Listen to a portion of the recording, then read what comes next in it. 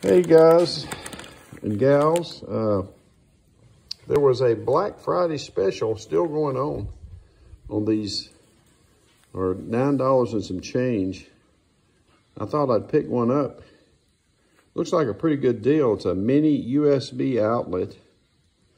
Uh, really made for your motorcycle. It says you can use it for your car and all, but look at here. It's already got your fusing in line your fuse protection, your USB port, of course your plug to plug in your device, and it's even wired so you can go straight if you want right straight to your battery.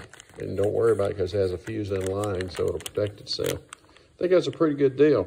$9 and some change if you're in the market. Amazon has these on special right now. 12 to 24 V DC 6 volt DC, mini USB. And you know, most all of our bikes can uh, need something like this added, some sort of USB port. Uh, so if you're looking for a deal, grab it while it's available. You can see it can be used for your phone, iPad, iPod, iPod cameras, even uh, things like your GoPro cameras and stuff. You want to keep them powered.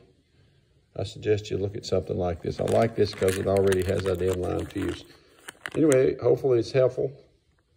Motor Power. It's on a, uh, it was Black Friday and Cyber Monday, I guess. Uh, check it out if you're interested.